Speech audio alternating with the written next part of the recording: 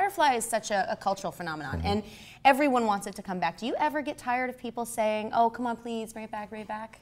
I don't get tired of it. I feel uh, sad that I'm not able to say, yes, we're doing it. Do you know who I have here today? Who do you have here today? Only Adam Baldwin, that's all. And Adam, it's great to have you here. Thank you, Stan. Okay. Thanks, Jenna. Thanks. I'm gonna- Cheers. And Jenna, a toast. Sláinte. Here we go. Chendan.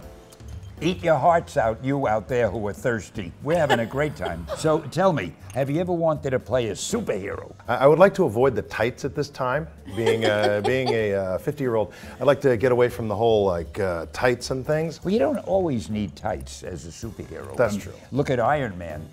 No tights, just just a heavy goddamn suit of iron armor. You got a point there. How about a supervillain? I could go for a super. Would you, would you like to? You could be a good Doctor Doom. Yeah. Yeah, I can see that.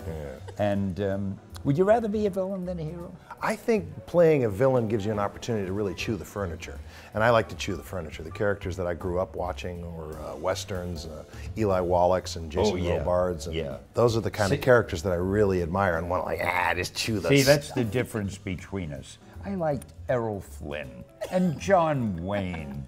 I like the good guys. And who do you get me as a guest? Villains. Hey, a I guy who appreciate he's into the bad guys. I would play a supervillain. I like the good guys too. You know the dirty Harrys of the world. Oh, he's, he's one of my. Clint Eastwood to me can do no wrong. Well, I want to talk about Comic Con because all of us were down there. Mm-hmm. So, what nerdy thing did you buy?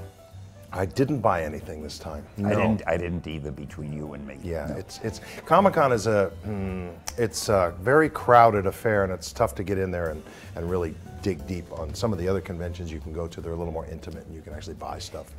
I think that's the one word you'd never use for Comic Con intimate.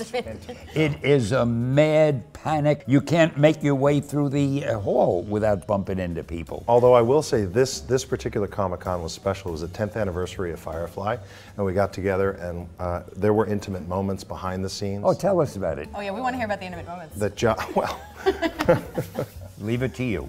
Uh -huh. It was kissing uh, and hugging. We were able to ha- have this wonderful panel, 6,000 people. Tears were shed. We expressed our love, and that's the most important thing for me whenever I go to these conventions is to share the love between the fans and, and, and the cast that we worked with. It was a family atmosphere, and it's something that we, we all created together. And that's the way I look at it whenever I go to these panels is we created this together.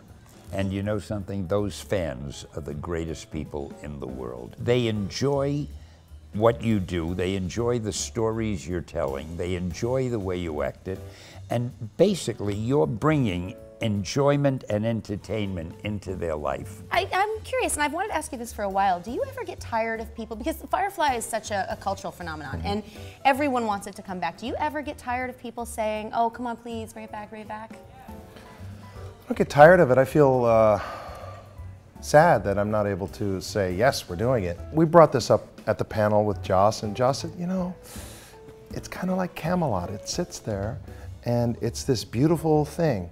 It's this beautiful, shining city on a hill, if you will, that you are reticent to go back and maybe diminish. You don't want to diminish it. It sits there, and maybe it's just best that we had that for the time that we had it, and it's a beautiful thing, and onward we go. I want to know um, difference in directing style between Stanley Kubrick and Joss Whedon. You want me to toot my own horn now, huh? I'm the only living individual to have worked with both Stanley And that is something and to Joss say. Whedon. That is something to say. Actor, anyway, uh, that I know of. Tell us about the That I'll difference between them, if there is any. Well, Stanley, I worked with him on, not Stanley, Stanley Kubrick. I worked with him in 85, 86 on Full Metal Jacket. He was very focused. We were, uh, we were at the mercy of English weather, and in that time, there were moments where we really loved each other, and there were moments where he would get a little cranky with us. Whereas Joss, we didn't have as much time because we were working on a television show, but we had at least a half a year to get to know each other uh, on, on those 14 episodes of Firefly and then the movie later.